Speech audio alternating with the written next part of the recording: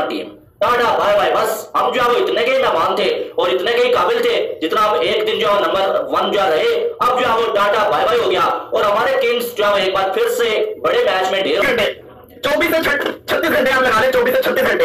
ये वो टाइम था पाकिस्तान नंबर वन है, दुनिया में जिसको कहते हैं ना ओडीआई की हिस्ट्री में पहले दफ़ा पाकिस्तान का हो पाकिस्तान नंबर वन जिसको कहते हैं ओडीआई की टीम रहा। लेकिन ठीक के बाद पाकिस्तान दोबारा से नंबर थ्री पे आ गए। थे पहले तो नंबर बताओ नंबर थ्री के ऊपर आ गए। तो नंबर वन से नंबर थ्री का ये वो जिसको कहते हैं फास्ट प्रोसेस था। हम जिसको कहते हैं नीचे से ऊपर है नंबर वन पे उसके बाद नंबर वन से दोबारा नंबर थ्री के ऊपर आ गया। विराट नंबर वन एक दिन की हमारी खुशी ठीक है? एक दिन के लिए कुछ सही है। रहती है थोड़ी सी फ्रस्ट्रेशन रहती है कि जब सारा मैदान ठीक होता है हमें ऊपर जाने के लिए मौका मौके मिलते हैं तो फिर हम उस दिन कुछ इस तरह की परफॉर्मेंस करते हैं कि जिससे कि दिल में मलाल या फ्रस्ट्रेशन कह लें या अफसोस होता है, क्योंकि ये हम नंबर वन आ गए भाई कौन से तीर मार लिए? एक दिन नंबर वन ये भी हमारे लिए अजाब हो गया है। क्या बाबर के जो फैंस है, वो जीना नाम कर लेंगे? ओ भाई, आप बाबर पे बात करते हो, बाबर ने तो हमें नंबर वन बनाया।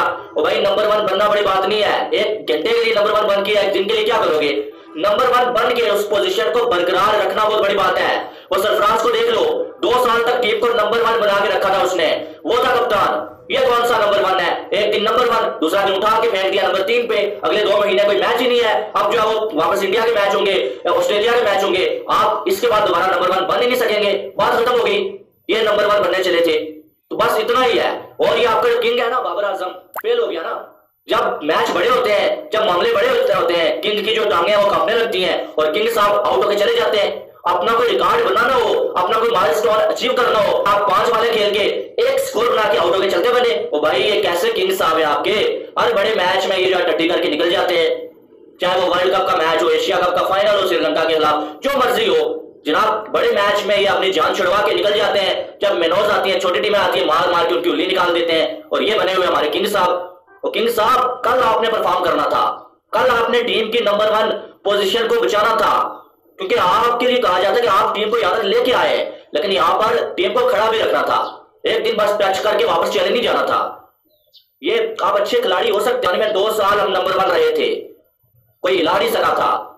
और आप एक दिन भी जो नहीं रख पाए नंबर वन टीम को। किंग को किंग वाला काम करना था कल। जैसे कोहली ने पाकिस्तान के खिलाफ एक हारा हुआ मैच जितवा लिया था। उसने नहीं बोला था कि भाई, और कोई खिला ही नहीं तो मैं क्या करता? वो अकेला मार के चला गया था। इसको बोलते हैं किंग। इससे अच्छा इफ्तार है भाई। वो सलमान है, जिसने जो मैच का जो बनाया। ये इफ्तार को बहुत बड़ा क्रेडिट जाता है। जिस तरह से उसने ये मैच बनाया ना भाई, कि आगा सलमान और इसने आगा सलमान ने सत्तावन स्कोर इफ्तार ने बहत्तर बालों चौरानवे, इसका किसी ने साथ नहीं दिया। साथ देते तो ये चाचा जो है मैच जितवा के निकल जाता। कम अज कम पाकिस्तान की नंबर वन पोजीशन बच जाती, लेकिन इसका किसी ने साथ नहीं दिया। और ले लो बदले फखर जमान, ठीक है जी, बहुत अच्छी परफॉर्मेंस थी। चौसठ बालों पे तैतीस स्कोर यार, ये कौन सी दुनिया में खेल रहे हो? ये कौन सा टेस्ट मैच तुमने लगाया हुआ है? क्या यानी कि आज तुम रिकॉर्ड बनाने के चक्कर में थे यार, एक और सेंचुरी बना लूँ। तो ठुक ठुक ठुक करके टीम को का जो बेड़ा गर्क करके मैं अपनी सेंचुरी बना के निकल जाऊँ। ये परफॉर्मेंस है।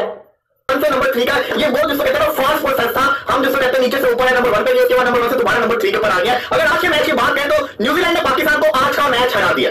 जी हाँ न्यूजीलैंड ने पाकिस्तान को आज का मैच फोर्टी सेवन रन से हराया।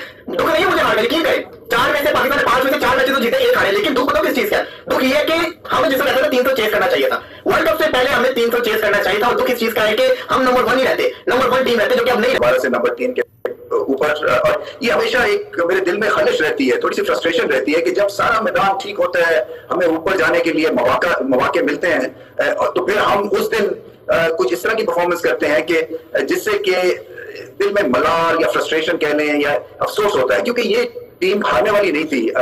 न्यूजीलैंड से हारना जो था ना बिल्कुल एक बहुत ही बुरी परफॉर्मेंस होती तो आप इस टीम से हारते। और मतलब है जीतने के बाद आप देखें ना कि कितनी ज़्यादा और वाह होनी थी। बट एनीवे क्रिकेट है, हमें पता है कि on the day performance count करती है ऑल दैट डज मैटर इससे एक चीज़ तो पता चल गई कि अगर बाबर स्कोर नहीं करेगा तो आपको प्रॉब्लम्स हैं। अगर रिजवान स्कोर नहीं करेगा तो प्रॉब्लम्स हैं। तो इन दोनों के ऊपर जो है, वो हमने व्हाइट बॉल क्रिकेट सजाई हुई है।